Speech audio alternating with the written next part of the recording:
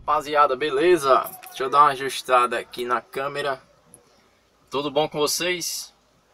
Antes de mais nada aí, quero agradecer aos 11.300 e lá vai se danou-se inscritos. tá bom, galera? É... Eu quero pedir perdão aí, primeiramente, porque nessa viagem agora da vinda com melão, eu não fiz nenhum vídeo, galera, porque eu tava com a cabeça meio meio longe. Eu só fiz aquele do borracheiro ali e mesmo assim eu não queria nem ter postado. Porque já teve uma, umas críticas dizendo que o canal já tá sem conteúdo e não sei o que e tal.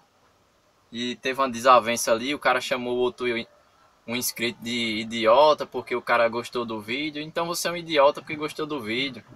Tá sem conteúdo e coisa e tal. Mas passado, né? Já passou. É, eu quero agradecer a todos que comentam aí. Eu tento responder a todos primeiramente, né? Todos os comentários eu tento, eu tento responder. Agora que eu não estou conciliando as coisas. Quando o canal tava com menos inscritos, eu respondia todo mundo. Mas agora um ou outro vai ficar sem responder. Então eu peço aí que tenha um pouco de paciência comigo. Que se eu não lhe respondi é porque devido à correria eu não consegui dar uma atenção suficiente a cada um. Tá bom, gente boa? Aí galera, hoje eu vou tá passando aqui um problema para vocês. Passando um problema não, vou tentar é, explicar para vocês como diagnosticar uma falha no Ford Cargo. Né? Isso serve acho que para o Ford Cargo 816, esses Ford Cargo eletrônicos já 3 quartos, toque, truque e os cavalos mecânicos também. Tá bom? O meu é um 4532 eletrônico trucado. Mas serve também por 2428 eletrônico, acho que por 2422 eletrônico e por 3 quartos também. Tá bom, galera? Eu vou, vou explicar para vocês como vamos fazer para diagnosticar uma falha. Primeiramente, você vai ter que estar com o manual do seu veículo em mãos. E no caso do meu, ele, como eu posso dizer, eu saí de Juazeiro e ele começou a falhar, tipo ratear não tá mais o barulho dele pelo escapamento normal, é como se tivesse com ar no sistema. Um barulho mais ou menos assim. É, por causa disso também que eu não fiz um, um vídeo, né? Porque minha cabeça tava latejando, o pneu, pneu deu um defeitozinho, eu tive que parar na borracharia, uns probleminhas aí. Eu achei melhor não fazer um vídeo, né? Porque se for para fazer com contrariado com outra coisa, o problema não é com vocês, o problema era comigo, minha cabeça, meu psicológico que tava meio afetado. Então, mais daqui para frente aí vamos voltar os vídeos é, rotineiros, né, das viagens e tal, explicar alguma coisa para vocês, que apesar da minha pouca experiência, eu nunca tinha trabalhado com caminhão diretamente assim. Dia 11 de março agora eu fiz 21 anos, né? Eu não tenho experiência com estrada, estou começando agora. Hoje é dia 14 de março de 2017, né? E apesar da minha pouca experiência, o que eu sei, o que eu aprendi, eu vou tentar repassar para vocês. Tem uma galera que está começando aí. Tem outros que nem carteira de habilitação tem. Já tem outras pessoas no canal que já tem habilitação, que já trabalha no ramo, que é mais experiente. Mas mesmo assim, vamos explicar um pouco aí para vocês. Eu vou mudar a câmera agora de posição. Vou botar para a câmera é, traseira, né? Da, então, rapaziada, eu tô aqui na feira da Ceilândia, né? Tô vazio já. É, só tá a lona ali no lugar, a galera vai dobrar. Tem outros caminhões aí. Tem um Volvo aí também que tá descarregando pro meu tio aí de melão. E o meu problema aqui é o seguinte. O caminhão tá rateando, tá embolando aí como se estivesse queimando só em três bicos, por exemplo. Três bicos injetor, quatro, cinco. Que o caminhão é 6, né?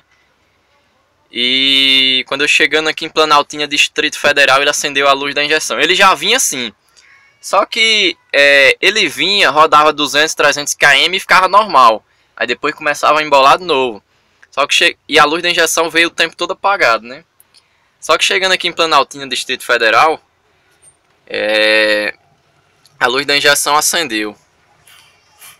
E com a luz da injeção acesa, a gente pode fazer um diagnóstico rápido através do manual, né? Do manual de, de instruções do, do caminhão vocês observem que eu vou ligar a chave dele aqui, pós-chave.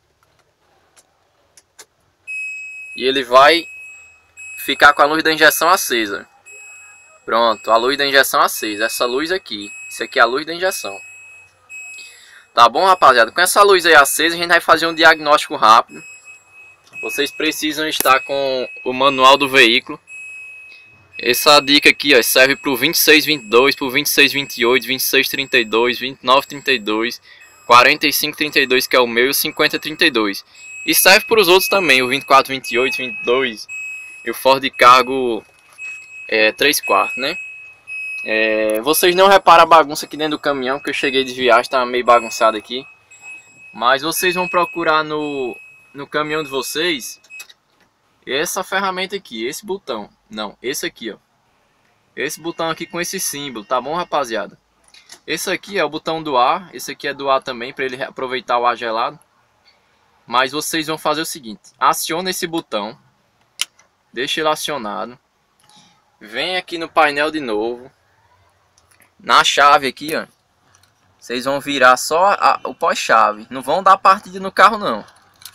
Viu, rapaziada? Soltou aqui o pino.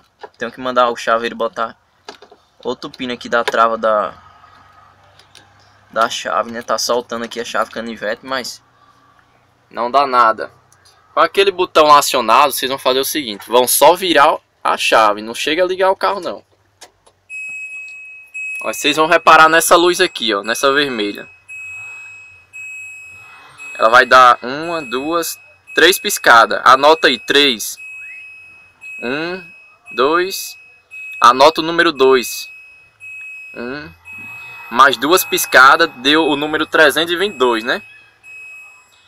É o seguinte. Para você identificar a falha, de acordo com o número de piscada ali da, da luz vermelha, vocês vão anotando, por exemplo, a primeira piscada foi uma sequência de três, três piscadinhas rápidas, um, dois, três. Aí você vai e anota o número 3. A segunda piscada ela foi duas piscadas rápidas, um, dois. Você anota o, número 2. E a terceira foi uma sequência de mais duas piscadas, você anota de novo o número 2. Formando assim o número 322. 322 é a falha do caminhão. Tá bom, galera? Eu vou fazer mais uma vez aqui, ó.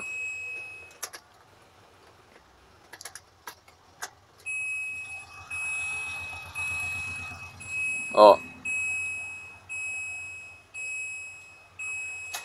Uma, duas, três. Anota o número três. Uma, duas. Anota o número dois. Mais duas piscadas.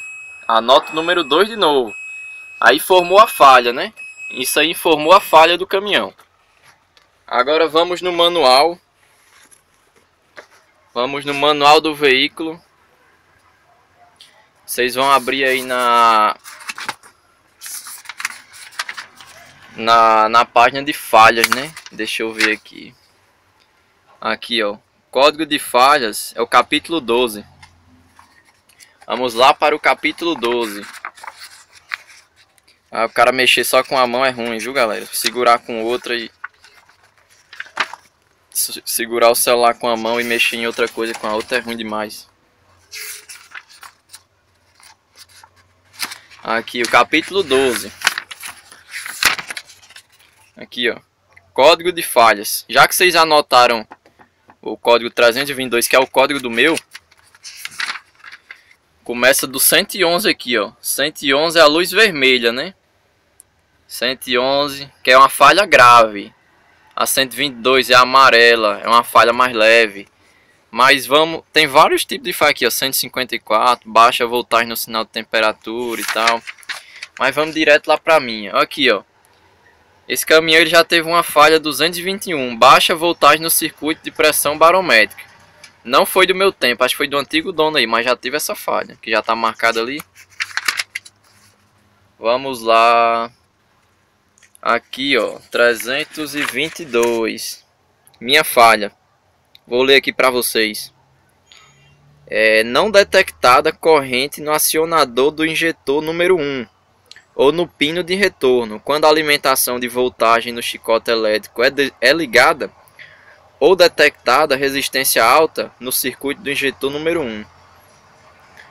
É, vamos ler novamente aqui. 322 é a falha amarela. É uma falha leve, né? É, não detectada corrente no acionador do injetor número 1 ou no pino de retorno, quando a alimentação de voltagem no chicote elétrico é ligada ou detectada resistência alta no circuito do injetor número 1.